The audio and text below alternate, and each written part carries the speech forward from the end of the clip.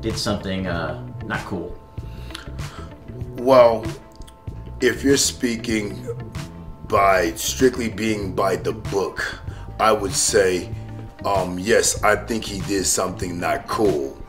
And keep in mind, I've been in this fight sports for over 25, damn near 30 years. I started as an amateur in the 80s, and I fought all the way up till, well, my last fight was 2015, um, or 2016. Anyway, um, anytime you do something outside the boundaries and the rules of of the commissions in which you're fighting for that is considered trying to get an extra advantage. So i would consider that cheating. Um so yes i would say that is out of bounds. You know it, it wasn't being straight up. Yes, I would say that. But the reach, if let's say if you have a 76 inch reach, you put a glove halfway on, the glove sticks out this much further. Now you have a 79 inch reach. But here's the problem I have with it, and the reason why I consider it cheating. Or or consider it, you know, out of bounds. The more we wait, the more evidence that show Tyson Fury actually cheating against Deontay Wilder in the first and second fight. We already had Errol the Truth Spence Jr. requesting Max Kellerman and ESPN to touch on the subject that's growing faster than the coronavirus. And if you ain't a corona, if you ain't a cobra, and you ain't a snake in the sport of boxing, then you definitely gonna talk about this subject and bring awareness to it. So after the truth talked about it, I dropped a video on it. Y'all could go and check it out. I'm gonna leave it in the comment section below. There's other fighters that co-signed that Tyson Fury gloves at least look suspicious, such as Tyson Fury own countryman, George Grove. And just to put icing on the cake, Tyson Fury former opponent, Steve Cunningham, actually called out Tyson Fury for cheating against Deontay Wilder, which I have another video dropping on that, and plenty more fighters and champions or ex-champions that called out Tyson Fury for cheating against Deontay Wilder, such as Charles Martin. Y'all could catch his interview on Blue Blood Sport TV. However, the latest addition to the list is no other than Dewey Cooper. He's a two-time champion in kickboxing and have many more accomplishments as he trained, I believe, up to eight world champions and had them winning in a world champion fight. And Dewey Cooper is a TMT trainer, a Mayweather trainer. And of course, if you're coming from TMT, we're going to flip that M and we're going to talk about the TWT, the whole truth when it comes to Tyson Fury glove situation. Now, first of all, whoever is running the Mayweather channel is not doing the Mayweather brand any justice because he's trying to bring his own perspective to the channel. He's trying to get his own agenda running on the channel, asking people to prove Tyson Fury innocence, and they clearly can't. So, with that being said, I advise for someone to look into it as Dante made a great video on that subject. However, whoever the interviewer is, he definitely didn't get the answers he was looking for when he asked Dewey Cooper. Because the way he worded the question, he said, Is it not cool for Tyson Fury to not wear the glove all the way? What do you mean, is it not cool? Just tell it like it is. Just ask him, Did he cheat or not? It's that simple. So Dewey Cooper basically told him the truth, and he definitely gave him the answer that he wasn't looking for. And he told him, yeah, it's not cool what Tyson Fury did because he basically cheated and he broke the rules. Then Dewey Cooper called Tyson Fury a cheater after that. As y'all heard in the clip that I played, Dewey Cooper explained the benefits that you could get fighting with a loose glove. The different benefits that you could get fighting a fighter like Deontay Wilder with a loose glove. You could give Deontay Wilder an illusion on the length or the reach of Tyson Fury. So Deontay Wilder is confused the whole time, thinking you have longer reach than you actually does. So that could mess with your timing and control of range. Now, Dewey Cooper talked about and broke down some of the advantages the loose tamper gloves gave Tyson Fury, and there's many more because we don't know how many advantages it gave Tyson Fury. And just a little time out to let it be known, you can find the link for the video I'm referring to in the description box below. Now, for the people that may ask, hmm, why you say that, Akhi? Well, the reason why I question what kind of benefits it gave him is the fact only the cheater knows what kind of benefits that gave him. Tyson Fury has a cheating book with all these advantages and advices when it comes to how to cheat and get away with it. So, with that being said, shout out to Young Pharaoh as he's on Tyson Fury Tale, breaking down, bringing up great points. And one of my Akhis sent me some of the points that he was bringing up, which is Tyson Fury was actually adjusting the glove by putting his hand all the way in and pulling it out during the fight itself. Not in a million years I would have thought of that. But for Tyson Fury to plan it out and actually pull it off during the fight, is genius. Even if it's cheating, I have to admit, this is genius right here. And only a cheater knows how to get away with cheating. So this TMT guy that's interviewing fighters and telling them, yo, do this what Tyson Fury did.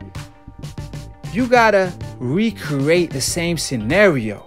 Give them a tampered glove, give them the same glove as Tyson Fury, and then they have to have the brain and study the book of Tyson Fury cheating tactics.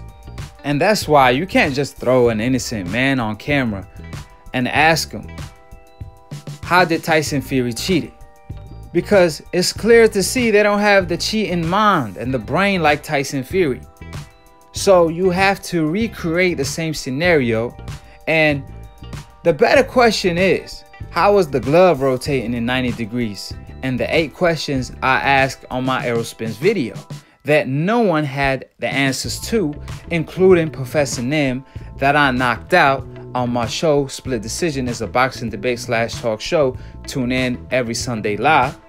So, with that being said, Tyson Fury is such a genius in the ring when it comes to his boxing skills and more so when it comes to his cheating skills. Because as y'all seen him pulling off a move in the footage y'all see above that I can't even comprehend.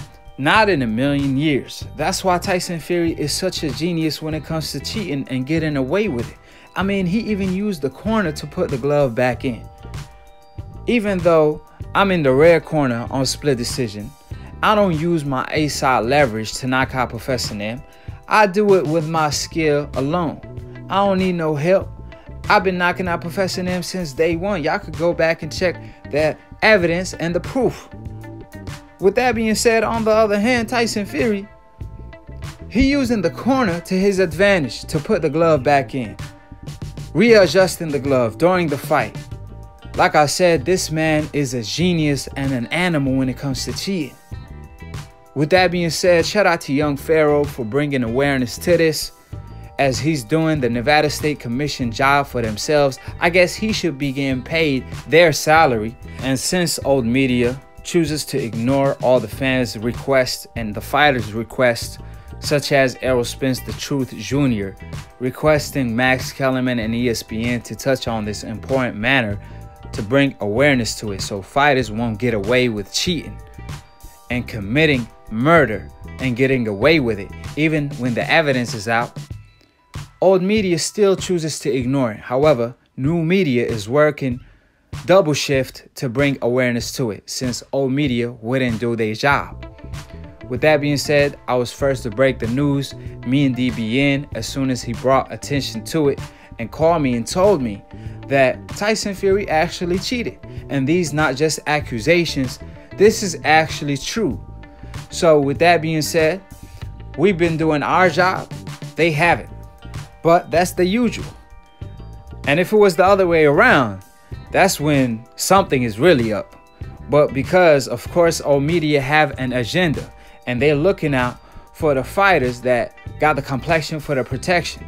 Because Tyson Fury, Hope Insurance really kicking in. No wonder Tyson Fury went to ESPN before he fought Deontay Wilder the second time. Because when you fight Deontay Wilder, you increase your insurance. And I'm not talking about your regular insurance, I'm talking about your Hope Insurance. And Tyson Fury knows exactly what I'm talking about. However, just like Lomachenko Hope Insurance, when ESPN erased Lomachenko loss on more than one occasion, can't they do the same thing to Deontay Wilder since Tyson Fury actually cheated and erased his losses fairly? That should be a legit question that Max Kellerman should address with that being said, there's a couple things that confirm Tyson Fury actually cheated versus Deontay Wilder. Is the fact that you see him readjust the glove. That's the new hard evidence caught on camera that we could see with our own eyes since God blessed us with our own vision. So unlike Stevie Wonder, we don't have to wonder. We could clearly see Tyson Fury cheating with hard evidence that we could see with our own eyes. And for the Tyson Fury fans that claim that they not seeing what we seeing. See the difference between animals and humans that God blessed us with having a brain so we are able to think logically or emotionally. Either one, you could clearly see Tyson Fury cheating. So, with that being said, how you explain the blood on the hand wrap of the left hand but not the right hand? How you explain the glove rotating in 90 degrees when Tyson Fury is throwing a hook, not a jab? I'ma repeat that. When Tyson Fury is throwing a hook, not a jab. How is that even possible? How is Tyson Fury slapping with the hook all night instead of punching with it with his fist? He would have broke his hand unless his fist where the palm of his hand is should be located. How you see in the picture above Tyson Fury fist and you could clearly see the thumb. How you explain that? How you explain Tyson Fury readjusting the glove on more than one occasion? How you explain Tyson Fury hand wrap sticking out of Tyson Fury left glove but not the right one? And why is Tyson Fury left glove is looser than the right glove? It's many questions that need to be answered. So if you're gonna try to prove Tyson Fury innocence, you're gonna need to make logical sense out of what I just brought up. And just like I left Professor Nim speechless on the last episode, he's also gonna be speechless on the next episode till he admit that Tyson Fury cheated as well. So like I said, Tyson Fury Hope Insurance done kicked in but regardless of any of that, you can't ignore the hard evident proof. And for the people that say, well, Tyson Fury won with his skill, you trying to tell me the fact that he put his fist where the palm of his hand is is the reason he won? You don't know ish about boxing. I'll tell y'all like Roger Mayweather loved to say, y'all don't know ish about boxing. Because if he had all the skill in the world, why did he cheat in order to win? Explain that. Because y'all claiming Tyson Fury having more skill than Deontay Wilder doesn't mean a thing. Because almost every opponent have more skill than Deontay Wilder that Deontay Wilder faced, according to y'all. And Deontay Wilder knocked all of them out. So, since when Deontay Wilder been the most skilled? We all know what separates him from every other fighter is his power. However, how you get someone not to use his power on his right hand? The answer to that is punching them with bare knuckle with your left hook. And that's exactly what Tyson Fury figured out. He said, I'm dipping my hand in gasoline. And that's exactly what he did. Literally, he told us the key to victory is the left hook, and it was. So Tyson Fury pretty much told on himself. So I never said Deontay Wilder will knock out Tyson Fury with ease if he didn't cheat. I know Tyson Fury have the skills, but skills and character don't mean a thing if you cheat in order to win. So Tyson Fury disqualified himself from being an all-time great. Period. He cheated on more than one occasion. he have taken steroids in the past and failed versus lower tier opponents. He cheated against his biggest fight against Klitschko and against Deontay Wilder. So he pretty much disqualified from being an all-time great. Furthermore, we're going to talk more about this as evidence seems to come out almost every single day. More and more evidence and if you're trying to disagree with facts, bring facts to the table not opinions because opinions are like assholes. Everybody has one. Some opinions are bigger than most. So like i always say subscribe below if you're trying to get smarter by the minute. If you're trying to get dumb about a second don't. And listen to these decaf aka dumb casual ass fans slash old media. Shout out to dbn for being the entrepreneur of new media that i'm a part of Shout out to Lunatoon for the funniest boxing memes. If a picture says a thousand words, his picture says a million words. Follow him on Instagram, keep it as G, and follow my man on IG. And follow me too at AkHi TV. Shout out to all my broskis. Akhi stand for broski in Arabic, so I appreciate all the love and support. If you're a casual fan and you want to be a hardcore, all you have to do is attend the Akhi University every Sunday live on Split Decision. It's a boxing debate slash talk show where Akhi is pound for pound number one. And last episode, Akhi chewed up and spit out Professor Nims like some M&Ms. I was like Eminem on the mic. There's no competition. I guess I need better competition. So if y'all decafs want to tune in and time in, I'm looking to catch a body since not too many decafs be calling in. I guess I done scared them because if I knock out and bury my own, broski, Professor Nim alive. Picture what I'm gonna do to you.